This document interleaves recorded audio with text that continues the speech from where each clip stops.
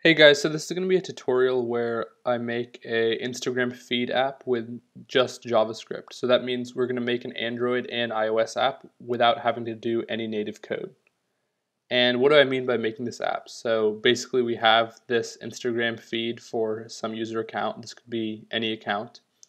And we're going to get each of these posts and the comments for the post. So it's going to end up looking something like this where we create our own Instagram feed. So how are we going to make a native app using just JavaScript? Well, I'm going to use this tool called Expo, and the way that this works is that you can make all of your app logic and UI using just JavaScript, which is a really cool concept. Expo will build the actual app binaries for you. So if you're a web developer like me, you can quickly transfer over your knowledge from building websites to building app screens. So I'm going to be using the Expo development tools, which you can find the installation instructions for on their docs page. I'm not going to go over that right now, but I thought it's helpful to be able to build on your computer. If you don't want to do that, you can actually go to this website uh, that Expo has called Snack. And what this lets you do is run all of your code in the browser, and then you can simulate what that code looks like on a device by just tapping play right here. So that's also pretty easy. All right, so the first thing that we want to do is actually create a new project inside of Expo. And if you're using Snack, you don't have to do this step. But we're going to create a new project, and I'm going to name this project Instagram example.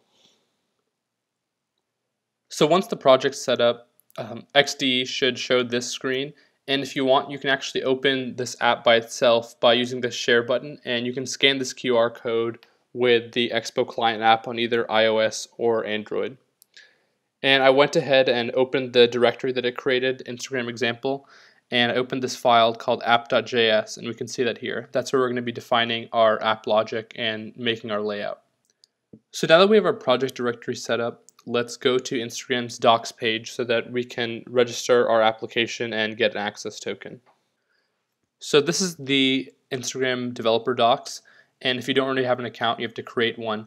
But now we want to go to this manage clients page and basically, you need to create a new client to get this client ID, which you're going to be using for registering your application and, and making requests. So now that we're creating a new client, all you have to do is fill out this information. So it doesn't really matter what you put here, but this all has to be filled out. And what really matters is when we go over to the security tab, this disable implicit OAuth is going to be automatically checked. And what that means is that the way that we're confirming and logging into an account is that we're doing it through server-side code rather than getting the access token through a client-side method. And for our demo application, we actually want to uncheck this. So when you're doing an application yourself, you probably want to have some server-side code, but for ease of understanding, we're not going to do that right now. Great, we just created our client, so we now have our own client ID. And remember for your own app, you have to generate your own client, so don't just use the same ID. And now that we have this, we can go to authentication. And we're trying to get an access token for our application so that we can actually pull data from our Instagram account, whether it's this account or you want to do some your own account, whatever account you want to do, you're going to need an access token. And the way that we're going to do that is by doing client-side authentication. So first we need to go to this URL and as you can see, we have everything here. We have the client ID, but we don't. We have not set a redirect URI yet. And normally you would want to use your own actual website so that you can get this access token because it's going to have it as a parameter in the redirect URL. But for our situation, it doesn't really matter what URL we pick. So we can go up to Manage Clients and click Manage and click Security. And I just put google.com here, and as we'll see in a second, when we redirect to this page, at the end it'll just have the access token that we can quickly grab. We have our redirect URL now, and before we actually make the authentication request, first there's one login permission that we want to add to our request. So we're actually going to need this public content permission, and based on this example, the way that we do that is we add onto our URL scope equals, and we're going to have public content there instead of likes comments. Now that we know the last parameter, we can quickly go to authentication and we can actually fill in the variables for our URL. So we're going to go get the client ID from our manage clients page and we're going to fill that in for that spot and for the redirect URI we did google.com so we just have to make sure it matches exactly what we had before. And finally the parameter we need is it, for the scope we want public content so we can get information from a user's profile. And finally, when we go to that page for you, you probably have to click accept. But here, now the access token we can see is just a parameter we can pull off the URL and use in our app. We're going to use the access token that we got and we'll save it as a local variable so that we can access it later. And now we're the we're going to use a flatlist component which allows us to have an array of data and each item in this array of data we can render independently. So we'll call some function which uh, we're passing in to our render item property of this of the flat list. So this JavaScript code that we're writing uh, with components and these import statements is actually called React Native and that's what Expo is built on top of that lets us build our apps using just JavaScript. And right here we're just adding a few import statements for components that we can use later in our app. In order to actually get the pictures, we have to know what the API endpoint res return result is. So I went over to the API at Instagram and checked what JSON I was going to get back when I made this API call. And I'm using that information right here to actually get the image URI and the username from the post details that we're fetching from the uh, Instagram API. So this is the create post function that is going to actually render each post in our flat list component. And basically what I'm doing is I'm putting everything in a view, which is like a div in HTML. And we're having a picture at the top along with the text of the username and the number of likes that this post has. Before our create post function is going to be useful, we actually need to set the state with by populating our data and populating our comments array. And we're going to do that in our fetch feed function. And what we're doing right here is actually using the fetch API which allows us to um, send requests over HTTP and we're we're going to get uh, JSON responses back. And we're going to be able to parse that and use that data to set values in our state such as the list of comments and the data that we need in our app. We'll make a function to get our comments list for each post and for every single post, we're going to first check are there actually any comments for this post. If there are some, then we'll have to make a networking request, but otherwise we don't want to waste any of the user's time or, or loading the comments.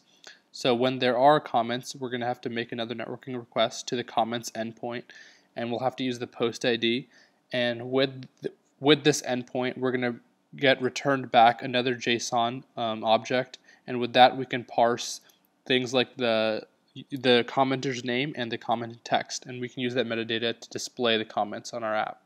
So you'll notice that I'm preloading all the comments at the beginning rather than loading them as we scroll down in the list and that's just a decision I made because I think it's simpler to load the comments at the beginning.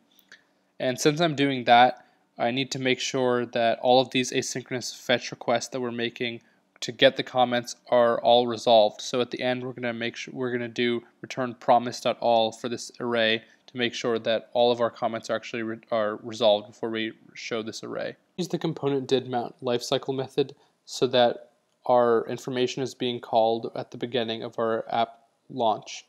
And we can make sure with the app loading uh, Expo component that's built in that before all this information is loaded that we're actually going to show the user a loading screen rather than a blank screen when they open the app. Now we get to style our app. And this is one of the best parts about using Expo and React Native because styling is just like doing it on the web. We import this library called style sheets and we can style using a lot of the same properties that we would in CSS. So centering, adding padding, most of it's exactly the same. There's a few property name differences, but other than that, styling is going to be, be very familiar on this platform. Quickly, there were a few syntax errors that I caught, so we add a plus at the after post ID, change comments list, and change posts array. So those are just some silly errors that it had. And also right here in this function call, we need to use the object operator to destructure that. Now just run npm install on your terminal to actually get the packages installed for the project.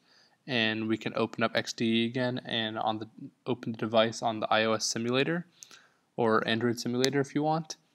And after this opens up and loads, there we go. Our app is actually working now and it's just like we hoped it would with the picture, comments, and the users and we can see everything. So just like that, we have our app built and this is only on the Expo platform currently, but we can very easily turn this into a standalone app on both iOS and Android. And the way we can do that is we can go over to Expo Docs and we can click on Building Standalone Apps and they have a tool you can install called Exp. And after you create your Android account and your iOS account and you add a few things to configuration files, you can very easily type one command and it'll build your iOS and Android binaries for you. And you can actually publish these then directly onto the App Store without having ever touched Android Studio or Xcode, which in my opinion is really cool.